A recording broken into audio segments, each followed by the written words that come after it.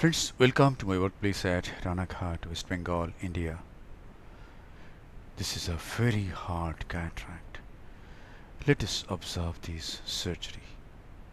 This is the main incision with a 2.8 millimeter steel keratome on the posterior aspect of the limbus. And now,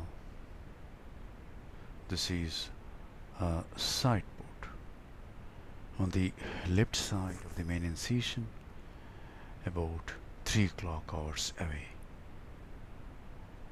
And now I wanted to make another stab incision but I didn't do it at this moment. A big air bubble is injected into the anterior chamber and then trypan blue dye is applied over the anterior capsule. A few drops of adrenaline is applied. The dye is washed out with BSS. This is a 23G Simcoe.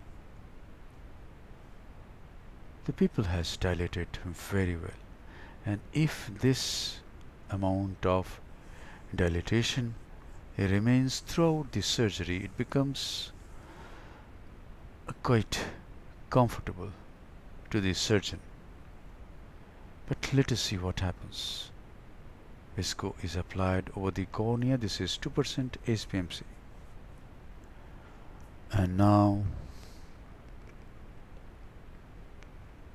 capsulorhexis the anticapsule is incised with a needle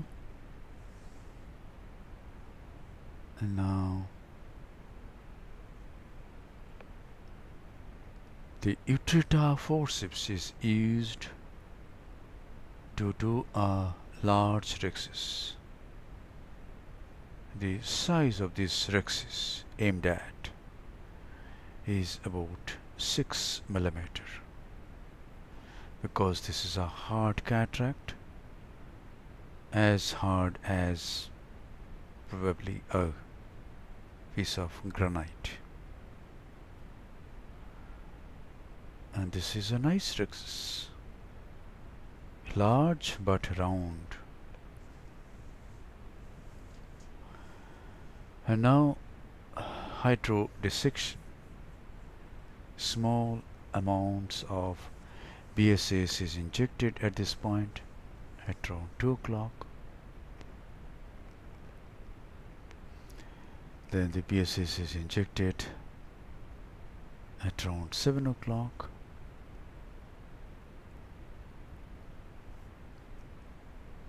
And now as I keep injecting BSS I try to rotate the nucleus and it rotates I'm constantly injecting BSS so that the anterior chamber remains deep.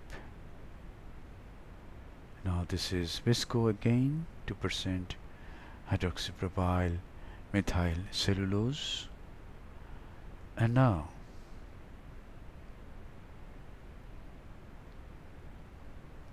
with high vacuum and high flow rate and with high ultrasonic energy I enter into the anterior chamber.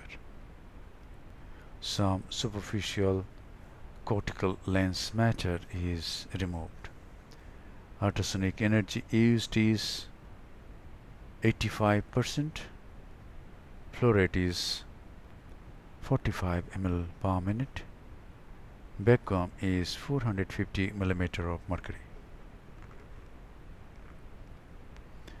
And now watch the submarine chop. The tip of the phaco needle is buried into the substance of the nucleus. It goes through the nucleus towards the opposite equator. The chopper supports the anterior surface of the intraocular lens and reaching near the opposite equator the chopper is used to divide the nucleus into two portions. Sometimes the portions are equal that we can say heminucleus. In this case the two portions are almost equal. And now I rotate the nucleus 180 degree and try to separate the two heminuclei from the other side and the it has completely separated into two halves and now again the tip goes through the substance of the nucleus and this heminucleus is chopped and this nuclear fragment is free. Now I chop this large fragment into two smaller pieces.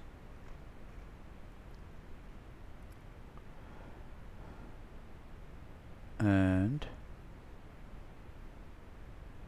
as I try to emulsify this piece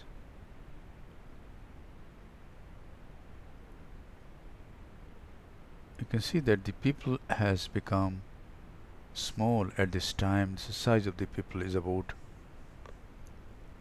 4.5 or yes 4.5 or 4 millimeter. But since the rhexis has been of adequate size we can manage this if the pupil retains this size. But if it becomes smaller than this then probably it will become difficult and I will have to use a pupil expansion device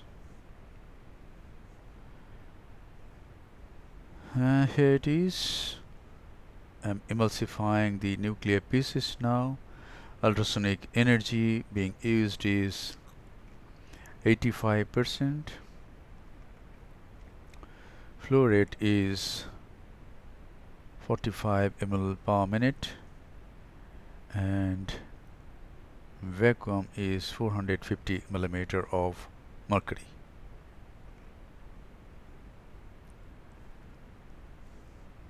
so still a long way two large fragments are still there this fragment is being divided into two smaller pieces. The ultrasonic energy is in continuous mode but I am using the ultrasonic energy only when I am going to emulsify something and I am using the ultrasonic energy intermittently. And watch the there is no wound burn. And this is the last piece. At this time I reduce the vacuum and flow rate. And with the chopper I supported the posterior capsule in this case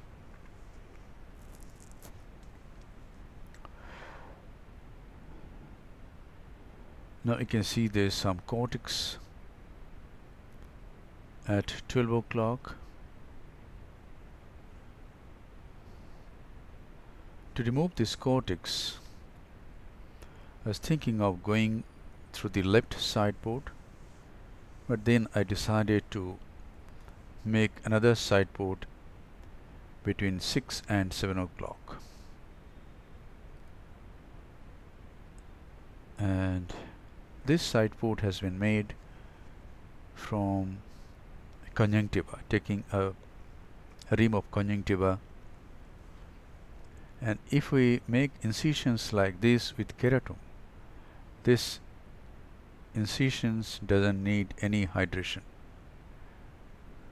And if it is little wider than the size of the Simcoe if it is about 1.8 millimeter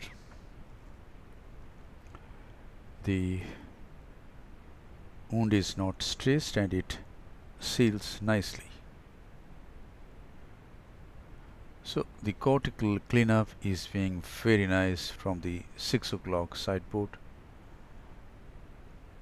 And now cortical cleanup is done and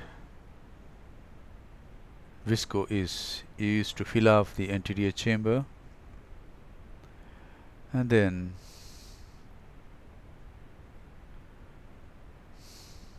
filling up the anterior chamber nicely uh, hydrophilic acrylic single piece monofocal intraocular lens is implanted in the capsular bag.